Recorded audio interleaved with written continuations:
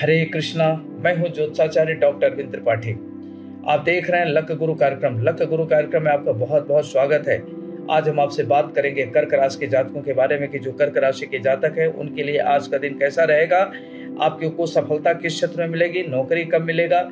व्यवसायिक स्थिति आपकी क्या रहेगी? घर में नए तरह के मेहमान आ, आ रहे हैं या शुभ कार्य होने का योग है या भूमि भवन खरीद सकते हैं? इसके बारे में आज हम आपको बताएँगे। इंडस्ट्री के क्षेत्र में क्या करने वाले हैं? मीडिया और राजनीति के क्षेत्र में आपसे आज क्या होने वाला है सब भी बताएँगे।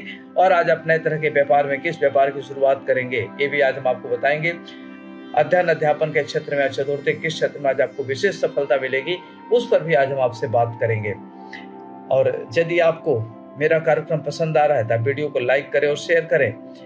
ज्योतिष में अगर आपको कोई भी प्रश्न है, जिज्ञासा है, अगर कोई भी ज्योतिष संबंधित कोई भी आपके मन में जिज्ञासा, कोई प्रश्न जानना चाहते हैं तो आप इनबॉक्स में जाएँ, अपना नाम लिखें, जन्मतिथि जन्म समय और जन्म स्थान लिख करके भेजें, ताकि हम आपके प्रश्नों का उत्तर दे सके। अब आइए हम बात करते हैं कर्क राशि की। तो जो कर्क राशि के जातक हैं, उनके लिए आज का दिन बहुत महत्वपूर्ण है।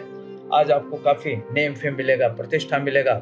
और आज आपकी जो चिंता है समाप्त होगी, जो काम कल करना, उसको अभी से तत्काल प्रभाव से शुरू करें।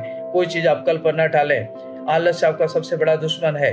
यदि आज आप विदेश यात्रा के लिए विदेश से एक्सपोर्ट इम्पोर्ट आयात, निर्यात करने के अगर आपने प्लान कर रखा है, कोई नई चीज़ करना चाहते हैं, नए तरह का व्यापार करना चाहते हैं तो उसके लिए आज का दिन बहुत ही बढ़िया है। उसमें करते हैं तो आपको सफलता मिलते हुए दिख रही है। कोई भी काम अगर आप करते हैं तो प्लानिंग करके बेहतरीन तरीके से करें चैनलाइज होकर करें।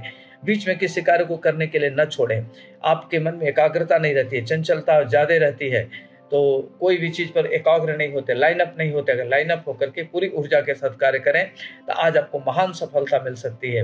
माली हालत आपकी अच्छी होगी। घर में अगर कोई भी नया कार्य की प्लान कर रहे हैं, जैसे घर बनवाना हुआ, गाड़ी खरीदना हुआ, कृषि उपभूम खरीदने की प्लान कर रहे हैं तो उसके लिए भी आज का दिन आपका बेहतरीन है।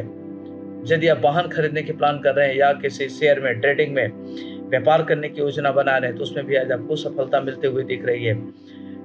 थर्ड व्यक्ति पर भरोसा ना करें, स्ट्रेंजर से कोई नया कार्य ना करें तो उसमें आपको पैसे डूब सकते हैं। शेयर इत्यादि खरीदने से बचने की ज़रूरत है। और यदि भूमि भवन से संबंधित कोई कार्य कर रहे हैं तो साझेदारी में कार्य कर, करने के प्लान कर रखे हैं तो रुकिए, नहीं तो आपका पैसा डूब सकता है। रुके हुए पैसे मिलेंगे और पुराने मित्र मिलेंगे, जिनके मिलने से आपका मन काफ़ी आनंदित रहेगा। पिता का सहयोग मिलेगा, गुरुजनों का सहयोग मिलेगा, आपके जो बचपन के दोस्त मिलेंगे, उनसे मिलकर के आपको काफ़ी मानसिक प्रसन्नता मिलेगी। आज एक नई एनर्जी से, नए तरीके से कार्य क्षेत्र में लग जाएँगे तो उसके लिए भी आज आपका दिन बेहतरीन है। यदि आप जॉब में है तो आज आपका पदोन्नत हो सकता है स्थानांतरण भी होने की संभावना बन रही है, आज आपकी ज़िम्मेदारी बढ़ सकती है तो आज का दिन आपके लिए बहुत ही बेहतरीन है। आज आपको सावधानी क्या बरतनी है, सावधानी ये बरतनी की उतावलेपन में कोई कार्य नहीं करना है। जो भी करें, सोच सकते, सूझबूझ से करें। और आज आपको उपाय क्या करना है? आज आप भगवान शिव की आराधना करें।